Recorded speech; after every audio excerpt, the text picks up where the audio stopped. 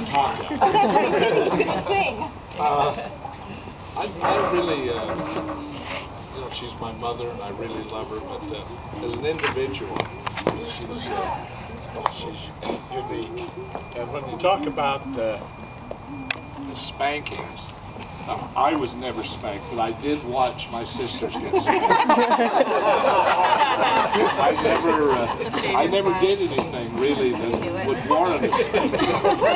Right. But there was one time when I was about 14 or 15, and I I did something that was misunderstood by my dear mother, and uh, and she didn't feel like she could spank me. I was taller than she was, and and uh, a little stronger.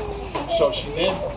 She grabbed the broom, and she was going to use the handle end on me, and I. Uh, I grabbed the broom, so we kind of kind of did a little dance. She was very unhappy, and, uh, and I thought it was really funny. and I kind of backed her up against the wall, and she started to cry. She started to cry, and I felt so bad.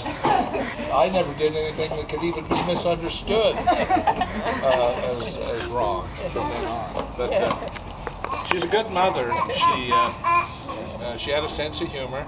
She knew when to laugh at me, and, uh, and I appreciate her for that. She. I, I, don't know how I would change her if I, if I was going to design her.